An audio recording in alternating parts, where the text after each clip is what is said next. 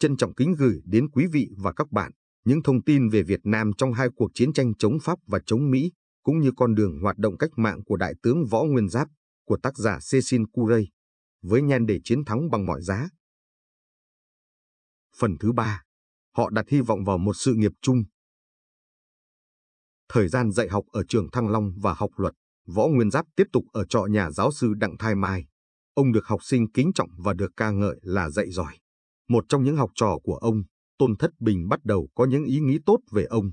Ông hoàn toàn thích hợp với tâm thức của nhà trường mà ai đó đánh giá là nơi vun đắp tình cảm chống thực dân và nơi diễn ra các cuộc thảo luận về tương lai nước Việt Nam. Học sinh ở độ tuổi từ 14 đến 18, chương trình học của nhà trường tương đương với chương trình của học sinh trung học phổ thông. Võ Nguyên Giáp sử dụng lịch sử để đạt được mục tiêu chính trị của mình. Ông nghĩ rằng dạy môn lịch sử sẽ giúp ông làm cho học sinh thấm nhuần chủ nghĩa yêu nước. Sau này, nhiều học trò cũ vẫn nhớ những buổi dạy của thầy giáo Giáp. Ông Nguyễn Đình Tú kể lại, thầy Giáp được học sinh thật sự kính trọng. Đó là một người yêu nước vững vàng rất tận tụy, trung thành. Thầy luôn luôn nói cần phải hất căng người Pháp. Dĩ nhiên thầy không bao giờ nói về chủ nghĩa cộng sản, mà chỉ nói chủ nghĩa quốc gia. Vì vậy, trong mắt chúng tôi khi đó thầy là một nhà yêu nước, chứ chúng tôi không nghĩ thầy là một người cộng sản. Võ Nguyên Giáp là một người cộng sản nhiệt thành đã biến những giờ dạy lịch sử thành một diễn đàn chính trị. Một học sinh khác, sau này cũng đi theo chủ nghĩa cộng sản và di cư vào Nam năm 1954 đã nói, ông nổi tiếng trong đám học sinh là diễn giảng rất giỏi về các đề tài lịch sử, đặc biệt là lịch sử quân sự. Nhiều học sinh cũ của ông nhớ về ông như một chiến binh cuồng tín, không mấy khi mỉm cười và không để ai thuyết phục được ông trong bất cứ lĩnh vực nào. Ông còn nhớ thầy Giáp có thể vẽ trên bảng đen những chi tiết cụ thể nhất về từng trận đánh của Napoleon.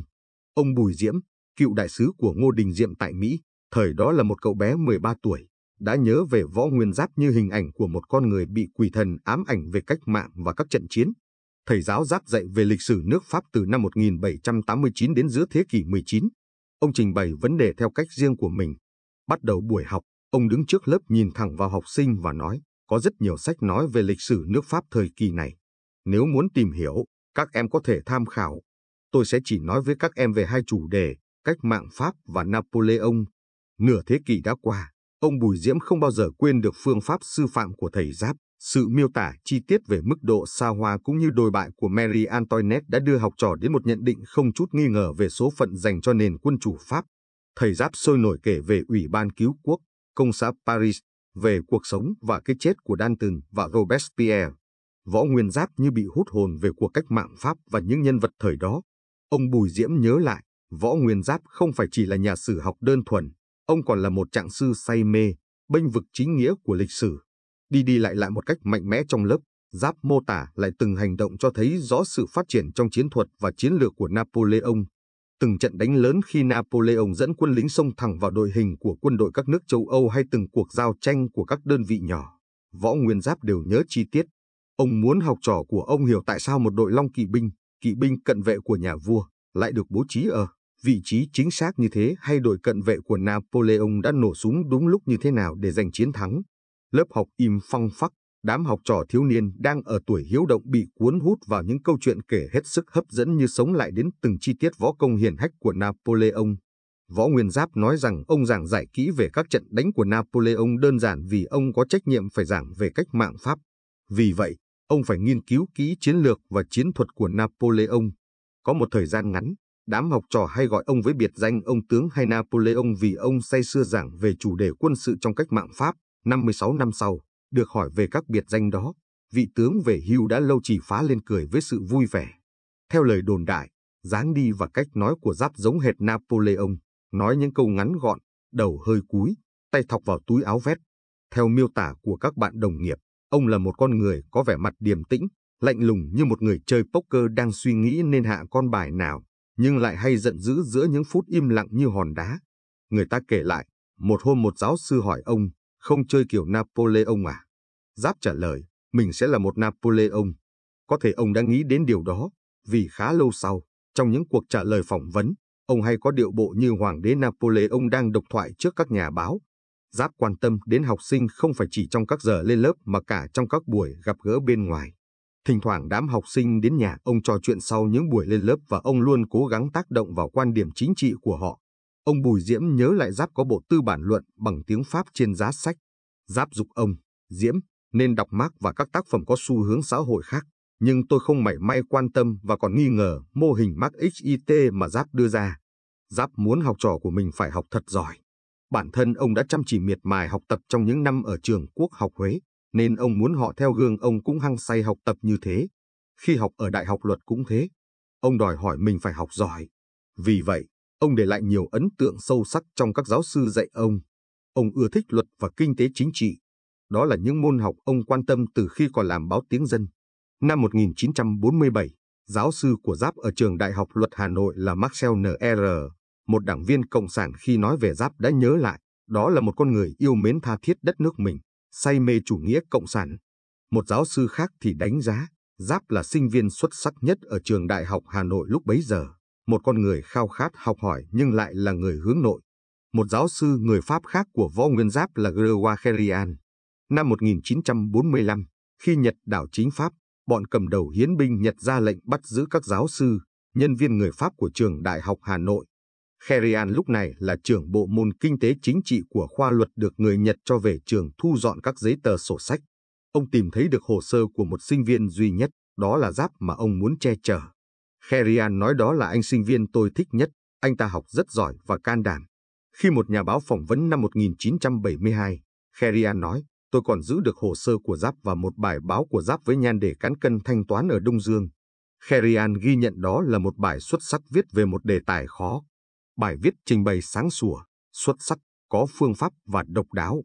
Tuy nhiên, kỷ niệm kỳ lạ mà Kherian còn giữ được về Giáp là cuối thời gian học đại học, Giáp có cơ hội được rời khỏi Việt Nam để sang Pháp du học. Ông ghi lại, Giáp đỗ đầu môn kinh tế chính trị năm 1938. Hàng năm có một giáo sư nổi tiếng từ Paris sang Việt Nam tự mình chọn lựa sinh viên giỏi, có triển vọng để cho đi học tại Pháp qua một kỳ thi tuyển. Năm đó là giáo sư Gaeton Piru. Ông chính là tránh văn phòng của Thủ tướng Paul Dume. Ông nói với tôi là ông có ấn tượng về kết quả học tập của Giáp và đặt cho tôi nhiều câu hỏi về Giáp. Tôi trả lời anh ta, Giáp đang có vấn đề với nhà cầm quyền, và đó là con người luôn luôn sôi nổi. Ông Piru nói, phải đưa anh ta ra khỏi môi trường thuộc địa. Hãy tìm cách cho anh ta đến Paris. Anh ta có thể học bất cứ ngành nào theo ý muốn. Người ta sẽ chu cấp cho anh ta ăn học. Kherian đã truyền lời đề nghị của Piru tới Giáp. Anh yêu cầu có thời gian để suy nghĩ. Ngày hôm sau Giáp trở lại nói anh ta không thể bỏ rơi bạn bè và hành xử như một người ích kỷ. Học bổng dành cho người khác là Vũ Văn Hiền sau này là một luật gia nổi tiếng, Võ Nguyên Giáp đã từ chối khoản học bổng đặc cách này dành cho ông cơ hội đi Pháp học ngành nào tùy ý. Sự nhiệt tình của ông đối với đất nước khiến ông khước từ mọi nỗ lực của người Pháp muốn tuyển lựa những thanh niên học tập xuất sắc để đem về Pháp giáo dục lại mà người ta hy vọng có thể tác động để họ đi theo con đường không có hại cho đế quốc.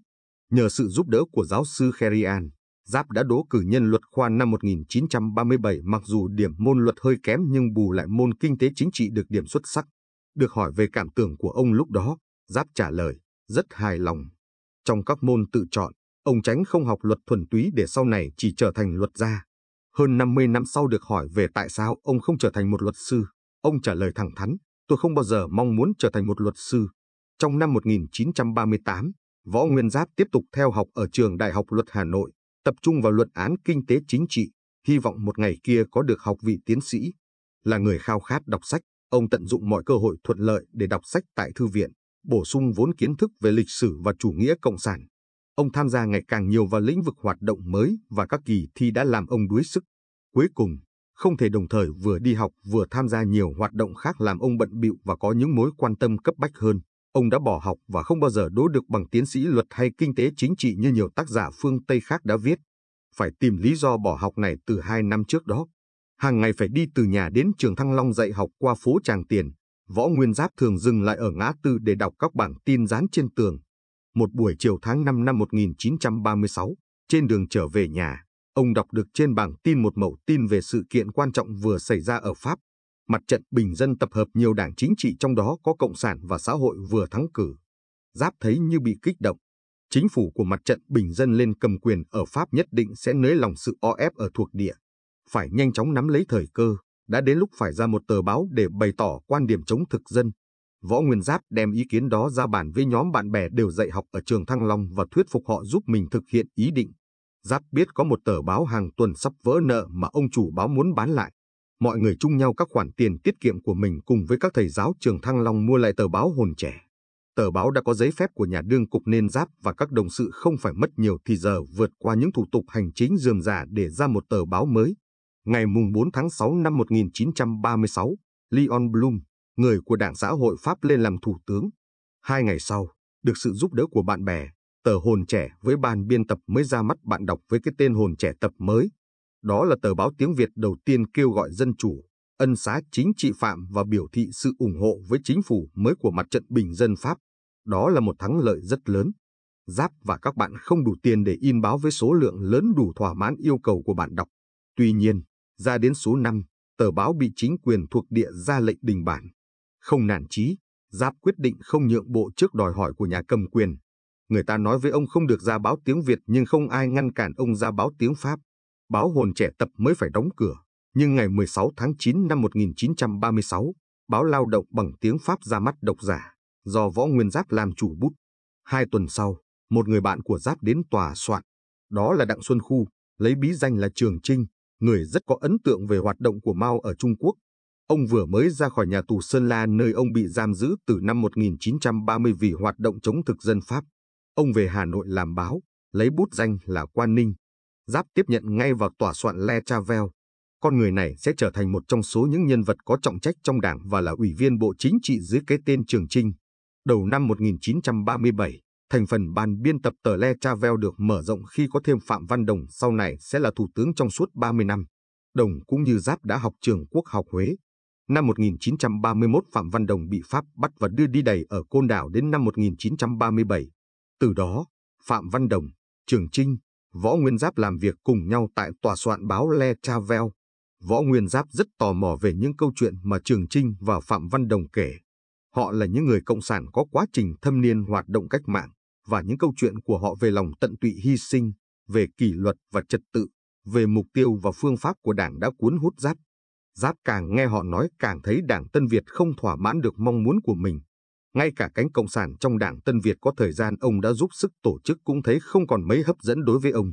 Võ Nguyên Giáp muốn hoạt động một cách tích cực chống lại người Pháp và Trường Trinh, Phạm Văn Đồng sẽ đem lại cơ hội cho ông nếu ông gia nhập Đảng Cộng sản Đông Dương. Thành lập tháng 2 năm 1930, dưới cái tên Đảng Cộng sản Việt Nam, Đảng đã đổi tên theo chỉ thị của Quốc tế Cộng sản ở Moscow bởi lẽ những người Cộng sản Xô Viết nghĩ rằng người cách mạng Việt Nam không đủ mạnh để lật đổ chế độ thuộc địa Pháp. Họ cần phải liên minh với những người Cộng sản Lào và Campuchia để lập ra một đảng Cộng sản đại diện cho toàn bán đảo Đông Dương. Bị đàn áp khốc liệt, gần như bị hủy diệt sau phong trào Xô Viết năm 1930 đến 1931. Những người Cộng sản Việt Nam còn sống sót trong thời kỳ mặt trận bình dân lên cầm quyền ở Pháp từ 1936 đến 1939 đã cơ cấu lại tổ chức đảng và lấy lại vị trí hàng đầu trong công cuộc chống lại ách thuộc địa ở Việt Nam. Năm 1937, sự lựa chọn mới đến với Giáp, ông hăng hái gia nhập hàng ngũ Đảng Cộng sản. Quá khứ đã giúp Võ Nguyên Giáp có niềm hy vọng về tương lai. Nhờ đọc cuốn sách của Pierre Guru về người nông dân xứ Bắc Kỳ, Võ Nguyên Giáp đã nghiên cứu và hiểu được điều kiện cũng như cách hành xử của nông dân Việt Nam. Ban đầu là sinh viên, sau là thầy giáo dạy sử, ông hiểu thấu đáo lịch sử và nhân dân nước ông. Suy nghĩ về cuộc nổi dậy của Tây Sơn năm 1771 và mới đây là cuộc nổi dậy không thành của Việt Nam Quốc dân Đảng ở Yên Bái. Ông hiểu rõ cuộc nổi dậy chỉ có thể thành công khi kết hợp được việc ủng hộ chính trị của quân chúng với chiến thuật bất ngờ, linh hoạt, cùng lực lượng quân sự chiến lược. Khi quan điểm chính trị đã được xác định rõ ràng, Võ Nguyên Giáp làm việc ở tòa soạn báo Le Travel một cách thận trọng và nghiêm túc, ngày càng có hiệu quả hơn. Một lần ông rong ruổi đạp xe đi từ Hà Nội đến Cẩm Phả phía Bắc Hải Phòng để lấy tài liệu viết phóng sự về cuộc đình công của thợ mỏ. Cùng với Trường Trinh, Đảng Cộng sản đã phái Phạm Văn Đồng lấy bí danh Lâm Bá Kiệt đi Hoa Nam. Võ Nguyên Giáp lập thêm nhiều tờ báo khác ra bằng tiếng Việt hoặc tiếng Pháp. Nhờ ảnh hưởng của mặt trận bình dân lên cầm quyền ở Pháp lan rộng sang tận Đông Dương, nên nhà cầm quyền thuộc địa buộc phải nới lỏng chính sách kìm kẹp. Các hoạt động chính trị được phép hoạt động công khai tuy còn hạn chế, trong đó có việc xuất bản nhiều tờ báo có xu hướng quốc gia. Võ Nguyên Giáp dành nhiều thời gian hơn cho việc viết báo. Ai mà biết còn được tự do giá báo, ra sách đến bao giờ. Ít nhất đã có 11 tờ báo hàng tuần được Võ Nguyên Giáp và Trường Trinh cho ra mắt để rồi đình bản khi nhà cầm quyền cảm thấy bị khiêu khích. Võ Nguyên Giáp còn viết bài cho ba tờ báo khác và ít nhất tham gia vào ban biên tập của hai tờ nữa. Vào thời tự do của năm 1937, Võ Nguyên Giáp được cử làm đại biểu tại Đại hội báo chí Trung Kỳ và Chủ tịch Đại hội báo chí Bắc Kỳ lần thứ nhất. Không có gì đáng ngạc nhiên khi ông Cam Thay bị chìm ngập trong hàng đống công việc. Trong 7 tháng tồn tại, báo Le Travel của Võ Nguyên Giáp ra được 30 số. Đến thời điểm đó, ông đã hiểu rõ mọi mặt của nghề báo. Ông viết xã luận và viết bài về các sự kiện quan trọng đang diễn ra rồi ông lại đăng lại các mẫu tin ngắn để viết bình luận, tiến hành điều tra và viết phóng sự về các đề tài khác nhau có liên quan đến chủ nghĩa thực dân, đi từ in đá đến in máy quay, rót mực vào rulo rồi quay cho máy chạy. Nhiều lần ông tự tay dập các bản mẫu các trang báo. Cáng đáng tất cả các công việc quả là quá sức một con người. Khi ban lãnh đạo đảng giao công việc khác cho Trường Trinh và Phạm Văn Đồng, họ phải đi xa Hà Nội một thời gian thì chỉ còn một mình Võ Nguyên Giáp đảm nhận mọi công việc ở tòa báo.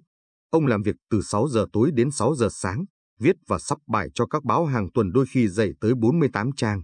Ngủ ít, ăn qua loa bữa điểm tâm, rồi ông chạy vội đến trường Thăng Long cho kịp giờ lên lớp.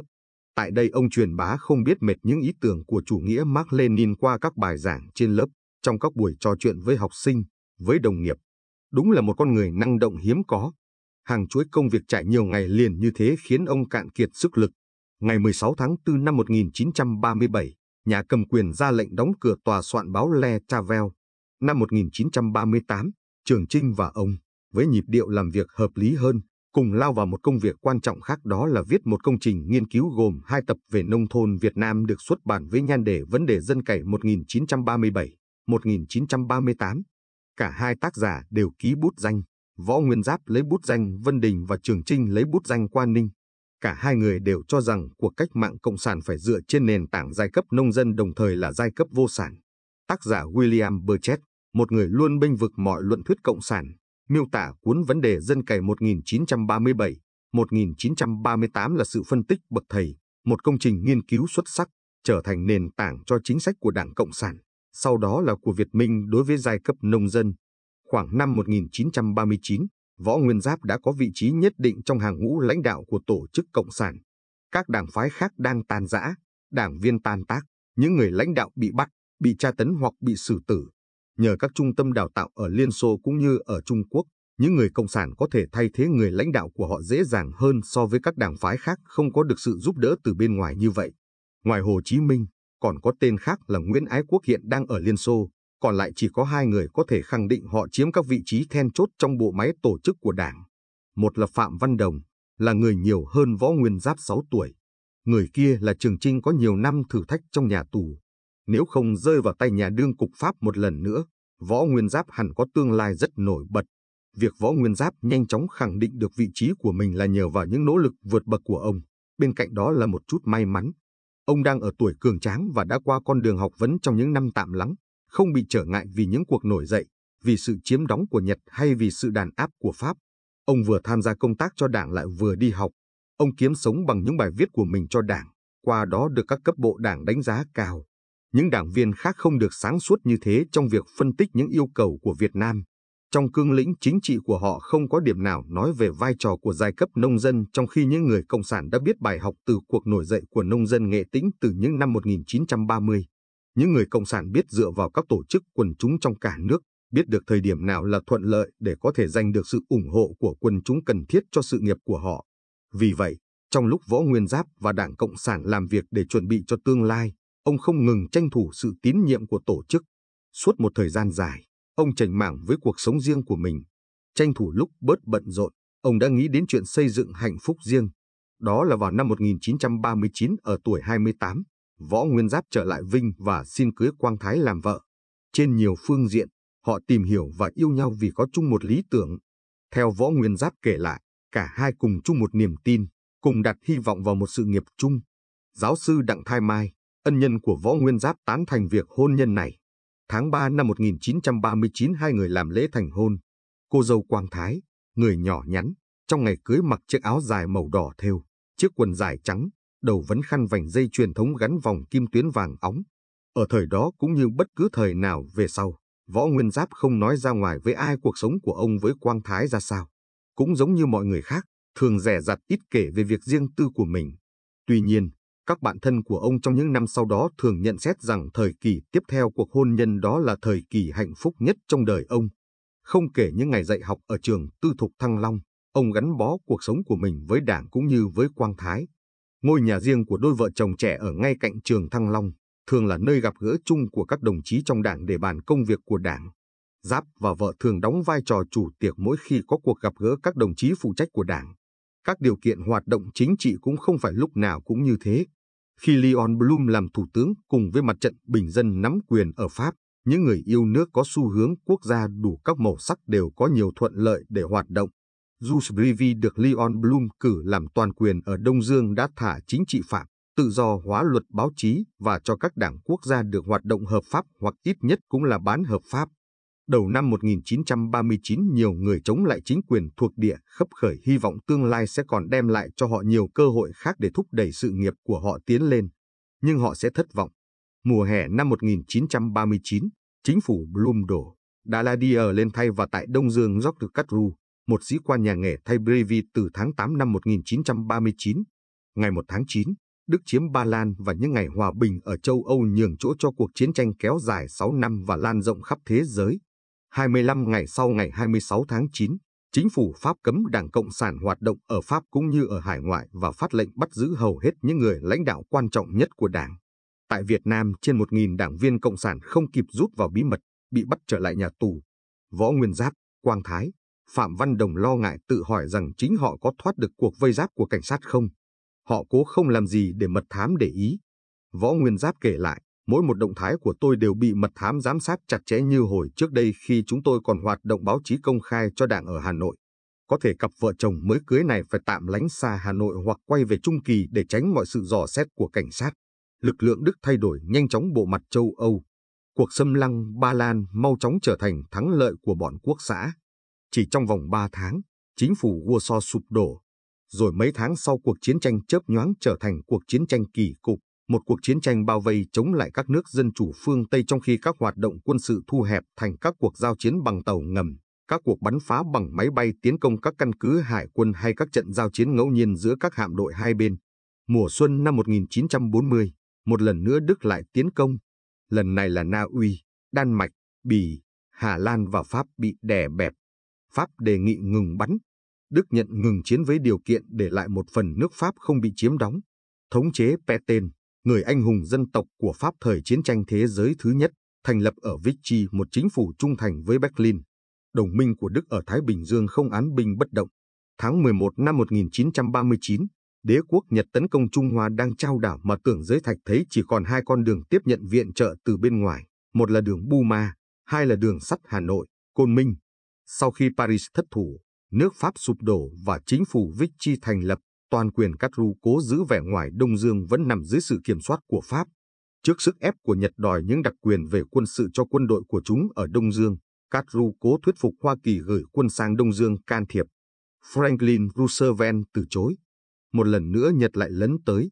Cuối tháng 9 chúng đòi quyền cho quân đội đi qua Bắc Kỳ để đánh Trung Quốc từ phía Nam.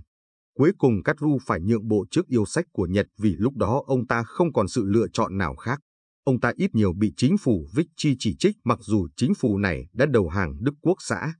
Catru bị triệu hồi về Pháp. Ông rời khỏi Đông Dương tháng 7 năm 1940 nhưng không về Vichy chịu tội mà chạy theo phái Reguler đang kêu gọi chống Đức, rồi Dinh Đờ Cu, tư lệnh hạm đội Thái Bình Dương của Pháp, thay thế Catru làm toàn quyền Đông Dương từ năm 1940 đến 1945. Bộ trưởng Ngoại giao của chính phủ Vichy ra lệnh cho Đờ Cu cho phép Nhật lập ba căn cứ không quân ở Việt Nam với 6.000 quân đồn trú. Cùng ngày, mặc dù thỏa thuận đã ký, nhưng Nhật vẫn tấn công hai đồn binh của Pháp ở Đồng Đăng và Lạng Sơn. Hai ngày sau, Lạng Sơn đầu hàng và hôm sau toàn cuộc kháng cự của Pháp nhanh chóng tan vỡ. Không phải 6.000 quân như hiệp định đã ký mà là 35.000 quân Nhật được gửi sang Đông Dương nhưng vẫn duy trì sự kiểm soát ảo của Pháp với các viên chức thực dân và bộ máy cai trị thuộc địa song tất cả đều đặt dưới sự giám sát chặt chẽ của quân Nhật. Như vậy, trong suốt cuộc chiến tranh, các nhà cầm quyền Pháp ở Đông Dương đã hợp tác với người Nhật. Pháp cung cấp cho Nhật một số lượng lớn gạo, than, cao su và nhiều nguyên liệu khác. Đờ Cu cố gắng nuôi dưỡng ảo tưởng rằng nước Pháp nắm quyền cai trị Đông Dương, nhưng những người dưới quyền đều sớm nhận ra có một nước châu Á đã làm mất mặt nước Pháp. Chính điều này hoàn toàn thủ tiêu câu chuyện hoang đường về tính không thể thất bại của người da trắng. Huyền thoại ấy đã đứng vững gần một thế kỷ ở Việt Nam. Tại miền Nam Việt Nam càng ngày càng có nhiều người có tình cảm thân Nhật, trong khi tại miền Bắc nhiều người bị cuốn hút vào hoạt động của những người yêu nước theo xu hướng quốc gia hoặc cộng sản. Nhưng thời gian qua đi, ngay ở miền Nam, phần lớn người dân cũng từ chối đứng về phía Nhật Bản. Võ Nguyên Giáp và Quang Thái tỏ ra kín đáo, thận trọng, cố gắng sống bình thường như mọi người. Tháng 5 năm 1939, 4 tháng trước khi chiến tranh nổ ra trên cánh đồng Ba Lan, Quang Thái có thai. Càng gần đến ngày sinh, vào mùa xuân năm 1939 hai vợ chồng thường nói với nhau về đứa con sắp sinh và về tương lai của nó sau này. Ngày mùng 4 tháng 1 năm 1940, Quang Thái sinh hạ một bé gái và họ đặt cho con cái tên xinh đẹp là Hồng Anh. Như mọi cặp vợ chồng trẻ khác, cả hai đều rất hài lòng và hạnh phúc. Những ngày thanh bình đó chỉ kéo dài vài tháng. Tháng 9 năm 1939, Ban chấp hành Trung ương Đảng đã quyết định thành lập mặt trận thống nhất phản đế và đặt ưu tiên vào việc giải phóng Việt Nam khỏi ách thuộc địa. Nguyễn Ái Quốc sau này trở thành Hồ Chí Minh hiện đang ở Trung Quốc và đã bắt đầu liên lạc với Ban chấp hành Trung ương Đảng. Mặc dù quốc dân Đảng Trung Hoa của tưởng giới thạch kiểm soát về danh nghĩa nước Trung Hoa, nhưng đất nước rộng lớn này đang ở trong tình trạng gần như vô chính phủ một vùng đất thu hút những người cách mạng và bọn phản động đủ loại. Cũng vì vậy Nguyễn Ái Quốc ở đây còn cảm thấy tương đối an toàn. Theo lời khuyên của Nguyễn Ái Quốc, tháng 4 năm 1940, Ban chấp hành Trung ương quyết định cử Võ Nguyên Giáp và Phạm Văn Đồng sang Trung Quốc. Bí thư sứ ủy Bắc Kỳ Hoàng Văn Thụ gặp riêng Võ Nguyên Giáp để ra lệnh lên đường. Họ tính đến khả năng sẽ phát động một phong trào du kích bên trong Việt Nam. Võ Nguyên Giáp cho Quang Thái biết dự định của mình. Cô rất phấn khởi đòi được đi với chồng sang Trung Quốc. Võ Nguyên Giáp phản đối, cho rằng như vậy càng gây thêm khó khăn, chuyến đi phải giữ hoàn toàn bí mật. Nếu chỉ có hai người, chuyến đi có thể không gặp nguy hiểm nhưng nay nếu đi cả bốn người thì tình hình sẽ khác. Có thể gây nguy hiểm cho bé Hồng Anh và điều gì sẽ xảy ra nếu khi đi đường bé bị ốm. Đảng đã quyết định cho họ. Quang Thái và chị là Minh Khai sẽ ở lại Việt Nam tiếp tục giữ liên lạc. Chỉ có Phạm Văn Đồng và Võ Nguyên Giáp lên đường. Tình hình càng phức tạp vì lúc đó Phạm Văn Đồng đang ốm và Võ Nguyên Giáp biết rằng sẽ khó mà đi tự do, theo con đường công khai mà không bị mật thám phát hiện. Họ chuẩn bị hành trang rất kỹ và hoàn toàn bí mật. Họ cũng hy vọng Quang Thái sẽ nhanh chóng tìm được một nơi chắc chắn để nhờ trông giữ cháu Hồng Anh để Thái có thể toàn tâm, dốc sức vào hoạt động bí mật. Võ Nguyên Giáp và Quang Thái chia tay nhau trên bờ hồ Tây vào một buổi chiều thứ Sáu, ngày mùng 3 tháng 5 năm 1940. Nếu đợi dậy đến hết tuần ở trường Thăng Long thì Võ Nguyên Giáp sẽ có cả ngày thứ Bảy và Chủ nhật để đi lên biên giới phía Bắc. Đợi đến sáng thứ hai khi Giáp vắng mặt ở trường, người ta mới bắt đầu đặt vấn đề và ngay cả lúc đó, cũng phải mất vài tiếng nữa cảnh sát mới biết tin và ra lệnh báo động thì lúc đó Giáp đã đi xa rồi. Võ Nguyên Giáp rời khỏi trường học như thể đi chơi cuối tuần như thường lệ. Ông kể lại, Quang Thái, bé Hồng Anh đợi tôi ở đường Cổ Ngư, ngày nay là đường Thanh Niên. Bế con trên tay hai người sóng đôi theo hồ như mọi người đi dạo mát. Võ Nguyên Giáp đeo kính đen để học trò không nhận ra. Hai người thong thả bước bên nhau, cố giữ thái độ ung dung bình thường như một cặp tình nhân. Điều này đối với Võ Nguyên Giáp không khó nhưng với Quang Thái hẳn là không dễ. Em hãy dáng tìm người tin cậy gửi con, để có thể rút vào bí mật. Võ Nguyên Giáp tâm sự với vợ, đặt lên hàng đầu yêu cầu của đảng. Quang Thái trong tâm trạng bị giằng xé giữa cơn xúc động làm mẹ và sự trung thành với đảng. Cô không cầm được nước mắt, bật tiếng khóc. Một mặt xa chồng mà cô đã tỏ ý muốn đi theo để cùng hoạt động chống Pháp, mặt khác phải ở lại tìm nơi gửi con. Vừa là mẹ lại vừa là người cách mạng, đó là một trách nhiệm quá nặng nề đối với một phụ nữ trẻ tuổi. Họ thong thả quay trở lại đi theo đường cổ ngư rồi chia tay nhau xa dần, mỗi người một con đường. Võ Nguyên Giáp bước sang một khúc quanh lớn trong cuộc đời đầy gian lao nguy hiểm. Còn Quang Thái gạt nước mắt quay về nhà với ý định đi tìm nơi ẩn náu chắc chắn cho bé Hồng Anh. Họ sẽ không bao giờ gặp lại nhau nữa. Võ Nguyên Giáp và Quang Thái đã hy sinh hạnh phúc riêng của mình vì lòng yêu nước và lý tưởng chung. Sau khi Võ Nguyên Giáp đi xa và gửi được con, Quang Thái cùng với Minh Khai vội vã đi khỏi Hà Nội trở về làng ở Vinh. Bị cảnh sát truy lùng, Minh Khai bị bắt tháng 7 năm 1940. Trong tù cô bị tra tấn một cách dã man để ép khai ra những tin tức về Đảng Cộng sản và hoạt động của Đảng. Tuy vô cùng đau đớn nhưng cô không hề hé ra nửa lời. Bọn cai ngục đã bịt mắt cô và đem bắn tại Hóc Môn gần Sài Gòn, ngày 25 tháng 4 năm 1941. Lời nói cuối cùng của cô là Đảng Cộng sản Đông Dương muôn năm, cách mạng Việt Nam thắng lợi muôn năm. Quang Thái trốn thoát được sự truy lùng của cảnh sát cho đến tháng 5 năm 1941 thì cũng bị mật thám Pháp bắt tại Vinh, thành phố quê hương cô, trong lúc cô đang đợi giờ phút chót chia tay bé Hồng Anh. Trước khi bị bắt, cô đã kịp giao con gái mới một tuổi rưỡi cho cô em, để thu xếp gửi bé về cho ông bà nội ở An Xá trông hộ. Trong nhiều năm ông bà đã nuôi dưỡng chăm sóc cháu nội như cha mẹ nuôi con. Người Pháp đưa Quang Thái về giam tại nhà tù Hỏa Lò ở Hà Nội. Nhiều năm sau, chính nơi này được phi công Mỹ bị bắt đặt biệt danh là khách sạn Hilton Hà Nội. Quang Thái bị đem ra xử ở tòa án binh vì âm mưu chống lại an ninh của nước Pháp và bị kết án khổ sai trung thân. Điều bọn ác ôn đã làm với người chị cũng được đem ra thi hành với người mẹ trẻ dũng cảm này. Bị tra tấn đến tận cùng, không chịu nổi đau đớn lâu hơn nữa, Quang Thái đã tự tử, theo một số người kể lại, bằng cách nuốt một giải lụa mềm đến nghẹt thở.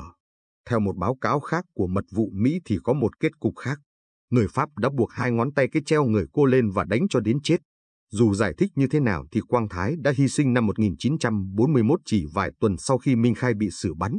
Trong nhiều năm gia đình Võ Nguyên Giáp còn phải chịu nhiều nỗi đau đớn do người Pháp gây ra.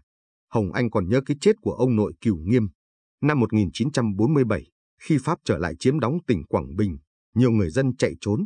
Hồng Anh viết, ông tôi không chạy đi đâu cả. Ông nói tao già rồi, tao không làm điều gì phi pháp hay có hại cho ai. Ông còn nói ông còn rất nhiều việc phải làm. Hồng Anh cũng kể lại cô cũng đã phải chạy trốn như thế nào. Bọn trẻ chúng tôi được người lớn để vào trong thúng rồi gánh đi. Cô cũng nhớ cái thúng đong đưa theo nhịp chân bước của người gánh. Cô ghi lại, tôi không bao giờ gặp lại ông nội nữa. Mặc dù Hồng Anh không gặp lại ông nội được nữa nhưng Giáp đã cố gắng để gặp cha mình. Năm 1946, trong một dịp đi họp qua An Xá, Võ Nguyên Giáp rẽ về thăm nhà để đoàn tụ với gia đình. Tháng 8 năm 1947, ông Cửu Nghiêm bị Pháp bắt trong cuộc hành quân mở rộng sự kiểm soát ra toàn xứ Trung Kỳ sau khi đã tái chiếm Huế. Ông Cửu bị giam ở nhà lao Huế không xa trường quốc học. Bọn cai ngục yêu cầu ông công khai tố cáo hoạt động của con trai. Ông cụ từ chối. Hồng Anh kể lại, ông bị chúng tra tấn.